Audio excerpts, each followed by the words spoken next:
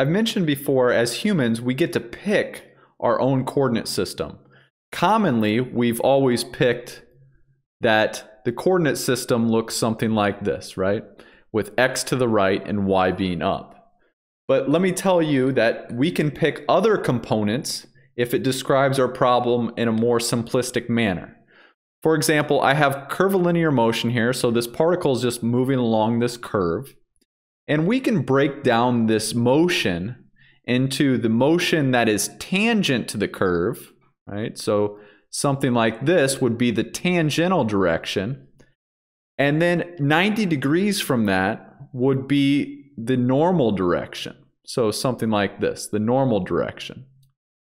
All right. And we can write the components of that particle as, as both in the tangential and normal direction.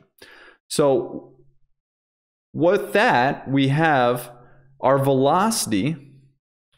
Our velocity here is equal to just some magnitude of the velocity times the unit vector in the tangential direction. So we're talking something like this, right? There's a velocity vector here, and that's the velocity of the particle. Now if we solve for the acceleration vector, we have components both in the tangential direction and in the normal direction. Now, you may ask why we have a unit in the normal direction since our velocity is completely in tangential direction. Since we're changing our, the course of our path in a curve, we're going to have something in the normal direction. There needs to be an acceleration that turns our path in a curvilinear manner.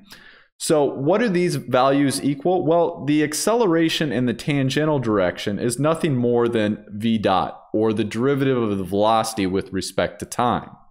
Okay, so we can find the tangential component uh, to the acceleration that way. The normal acceleration component is equal to v squared over rho.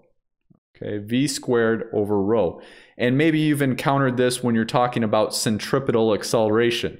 This is the centripetal acceleration formula. Okay, so the velocity squared over rho. So what is rho? Well, along this curved path here, it has a center of curvature, and the center of curvature at this instant may be here. All right, and the distance from the center of curvature to the particle, this distance here, is known as rho. Okay, so that is the distance rho along the normal direction. So having these two, uh, just given the velocity, we can figure out the tangential acceleration and the normal acceleration.